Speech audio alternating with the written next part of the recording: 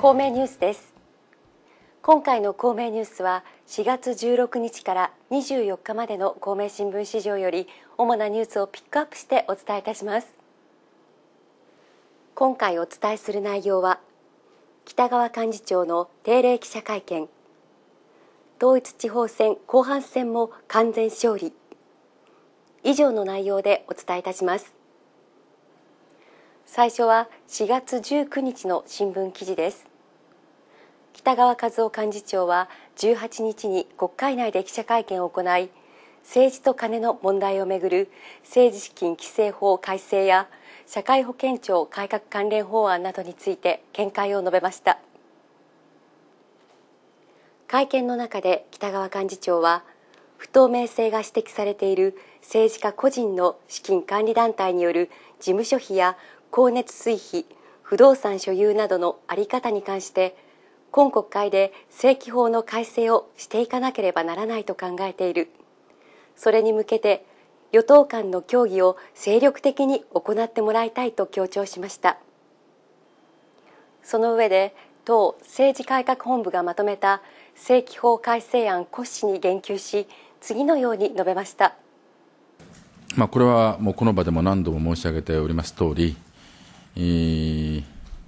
この国会でですねえー、政治と金の問題について、えー、皆様からもさまざまなご指摘を頂戴し、国会でも論議になっているわけでございますので、あのきちんとしたこの国会でのですね回答を出していかないとならないと私は思っています。あの改めて申し上げますが、この国会で政治資金規正法の改正をですね、えー、していかねばならない。と考えております。ぜひ、それに向けて与党間の協議を精力的に行っていただきたいと思っておりますまた今後衆院で審議入りが予定される社保庁改革関連法案や労働基準法労働契約法最低賃金法の労働関連三法改正案については次のように述べましたあの社保庁改革の法案、また、えー、重要なですね、えー、労働にかかる三法がございます。あのぜひこの国会で成立できるように全力を挙げてまいりたいと思っております続いては24日の新聞記事です第16回統一地方選挙の後半戦となる一般市議東京特別区町村議会選が22日行われました。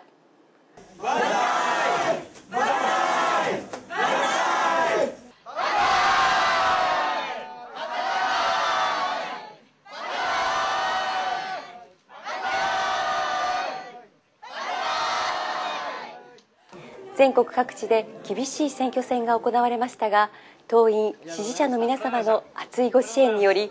1374人全員当選の完全勝利を果たしました。公明党は道府県政令市議選に続く全員当選によって4年前の統一地方選から連続での統一地方選完勝を達成しました。またこの結果を受け太田昭弘代表は23日党本部で浜四津子代表代行北川和夫幹事長らとともに記者会見を行い党の声明を発表し記者団の質問に答える形で見解を述べました。会見の中で太田代表は今回の完全勝利の結果について統一地方選に完全勝利したことで公明党の存在感が高まったと思うが今後の政局運営でどのように党の考えを示していくか存在感という以上に国民の期待が高まっていることを実感している。国民は生活に密着した景気や少子高齢化